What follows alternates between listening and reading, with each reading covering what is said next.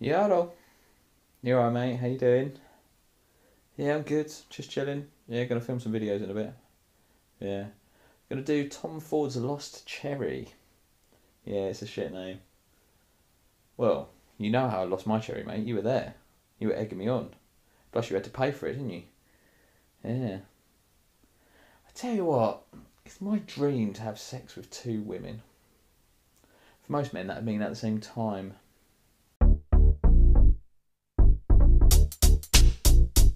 Word to your mother. My name's Steve. This channel is Frags to Riches, and thank you for tuning in. You know I appreciate it. You know I do.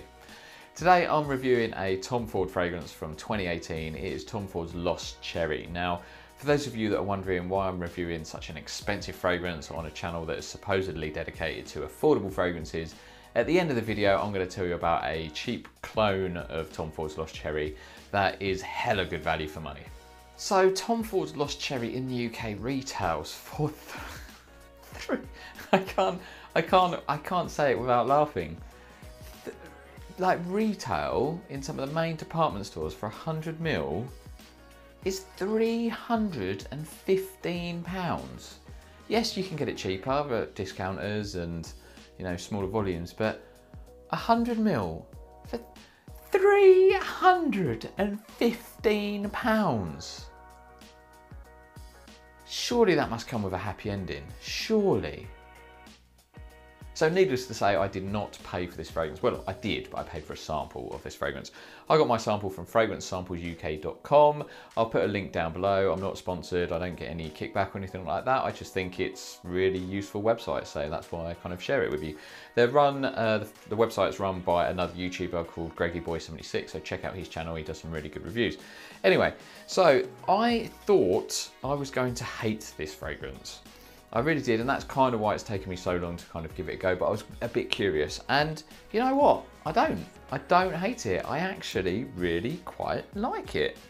It's really, like, I feel like this is a guilty pleasure for me. I sort of really enjoy it. Now, I'm not going to tell you all about the notes because basically there's a shitload and I can't bother to remember them. And all you really need to know is it's obviously like cherry, full on, full on rich, luxurious, quality cherry. That's you get that, and I also get some of the almond, and there's some uh, liquor in there as well. So you kind of get like this sort of booziness. Um, so you just get like this really rich cherry, some of the almond, and obviously it comes with some sweetness. Now the sweetness is not too over the top. It's quite subtle. I thought it would be again a bit too much or a bit too kind of feminine or girly or just a bit sort of childish or something. But it's not. It's a really quali- quality kind of luxurious cherry, um, which I really enjoy. Now, the only thing I would say is I would probably not necessarily wear it myself. I would rather smell it on the other half. I'd rather smell it on someone else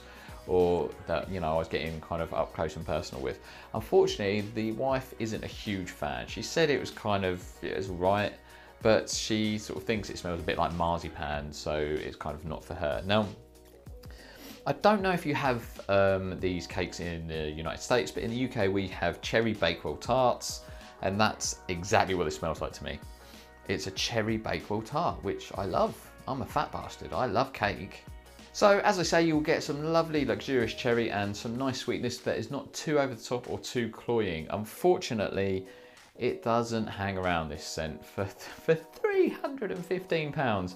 It should last a week and a half, but it doesn't, unfortunately. Now, a lot of people, when I kind of commented on Instagram that I was kind of testing this, a lot of people said it lasts minutes, it's like half an hour. Now, it wasn't awful for me. It wasn't sort of awful, but it really wasn't good, especially for the money.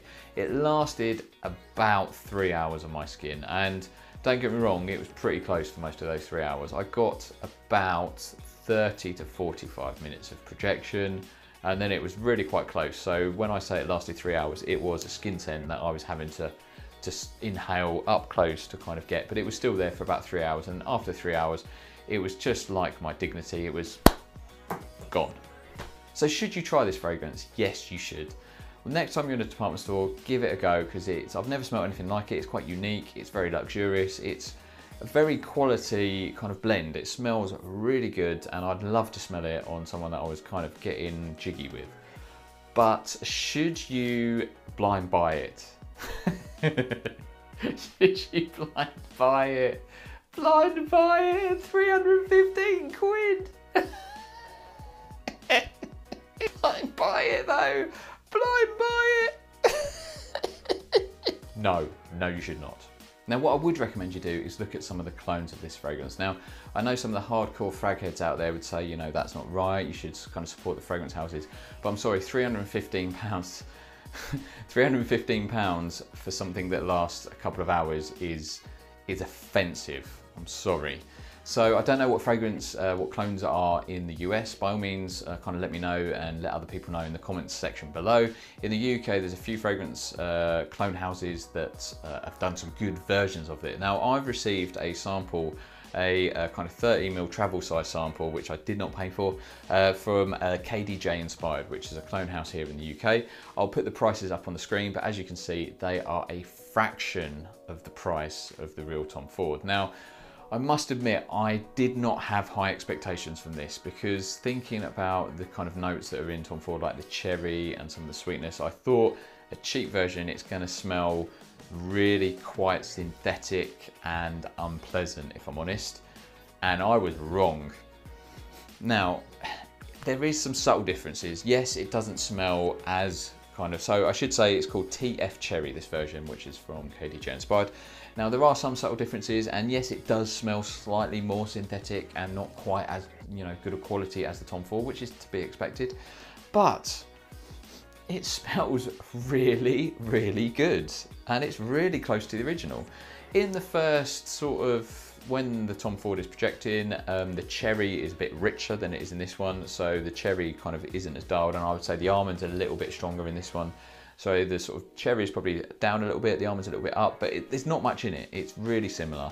Um, and then after about an hour, once they've both dried down, this is really close, like really close to the original. So for the value for money point of view, it is an absolute no-brainer. Oh my god, yeah, it's it's really really good version, and it performs a lot better. So I got um, projection wise, it's still not a beast projector. I only got sort of one to two hours tops kind of projection. It's probably more like an hour, hour and a half, something like that. So it's still not like a beast projector. It still wears fairly close. But to be honest, that's not necessarily a bad thing because the type of fragrance this is, I wouldn't want to kind of project too much in an office. You know, that sort of, it might be a little bit divisive, this kind of fragrance. So I wouldn't want to be a beast projector. Um, but the performance, the longevity is good. I got about five to six hours longevity on my skin. And when I say that, I could still smell it at that point, but it was kind of really faint. It was a really close um, uh, um, skin scent, where the Tom Ford after three hours was gone. Like I literally could not smell it. So, you know, a good sort of five to six hours out of this is a lot better. And again, if you get one of these travel sizes, which kind of costs about five pounds, absolute fucking no brainer. So that's what I recommend you do. Check out some of the clone houses to see what they have to offer. I would certainly recommend TF Cherry from KDJ Inspired. I've not tried any other clone houses though, so by all means comment below and let me know which ones you have tried and which ones you would recommend, especially if you're in the United States because KDJ Inspired do not ship outside of the UK, I don't think.